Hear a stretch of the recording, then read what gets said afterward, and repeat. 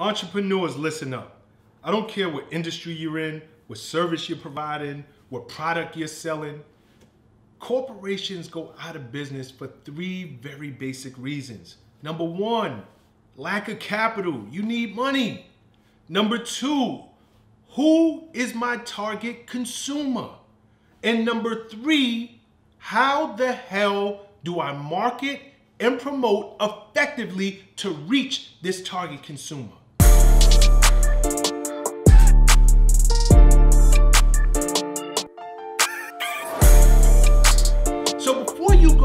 Business, I don't care what your business is. You have to identify who's my target consumer and how do I effectively market and promote to this target consumer because if you do not, every day that you're in business, you will lose money and be out of business. Quick example for y'all. T-Mobile, Verizon. Both mobile service providers, correct? But both of those corporations have identified that we have vastly different consumer bases.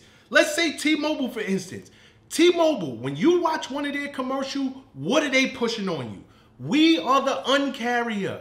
There are no surprises with us. Get down with us and there are no contracts. When you get your bill, there are gonna be no hidden fees. There's gonna be no hidden taxes. Your bill is your bill. And on top of that, you get unlimited data because that's what their consumer base cares about.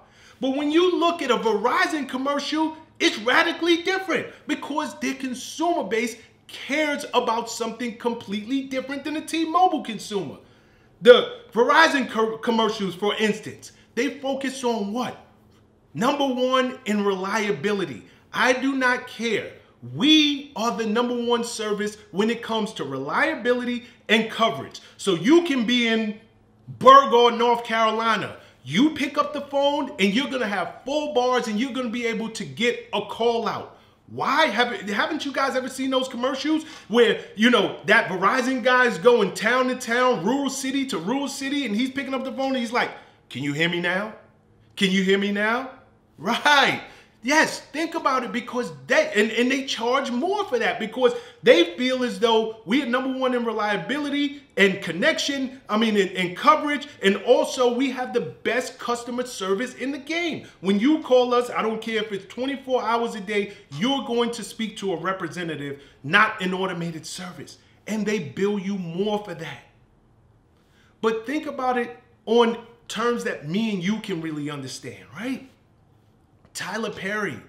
Tyler Perry, everybody look is, looks at him, which he should be looked at, as this, as this business mogul. This guy, he has done something that was so phenomenal, and I'm super proud of Tyler Perry.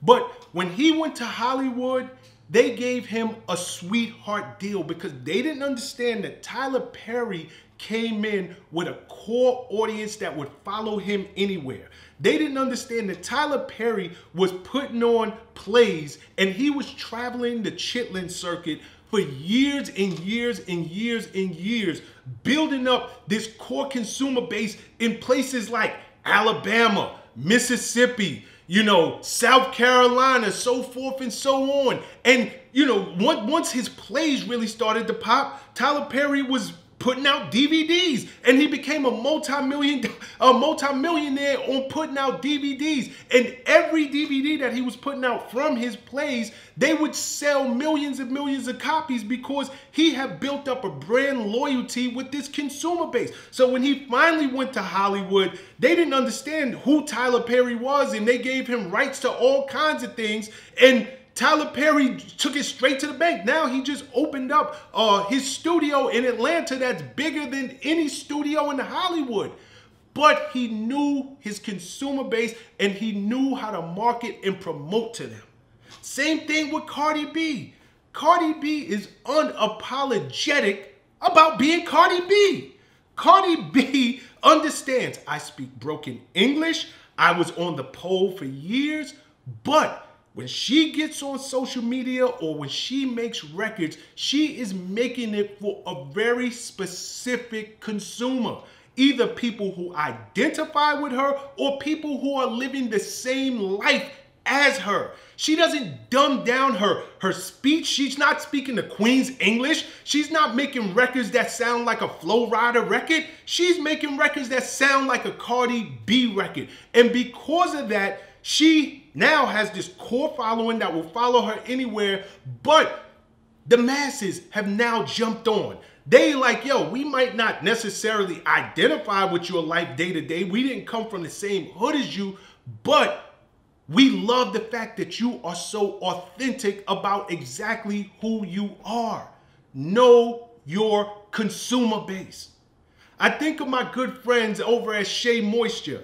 And I remember when these guys were selling black soap and they were selling these skincare products and hair care products. And they, they had this shop on 125th Street in Harlem.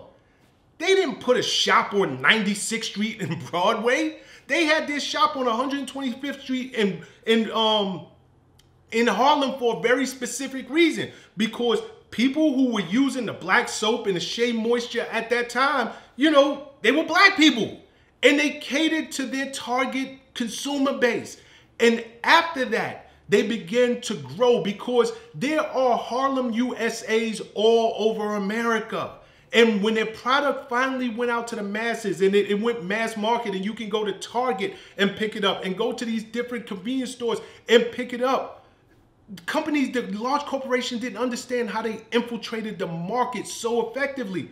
They knew who the hell they were selling to. They didn't dumb it down. They understood that, you know, a lot of the females were going natural. What do you put in your hair? Shea Moisture. They understood that so many black people, you know, our skin preserves well. You've all heard the, the black don't crack. So we're always putting lotion on, whether it is cocoa butter, but now shea butter. They understood that. And because of that, that company has sold for over a billion dollars.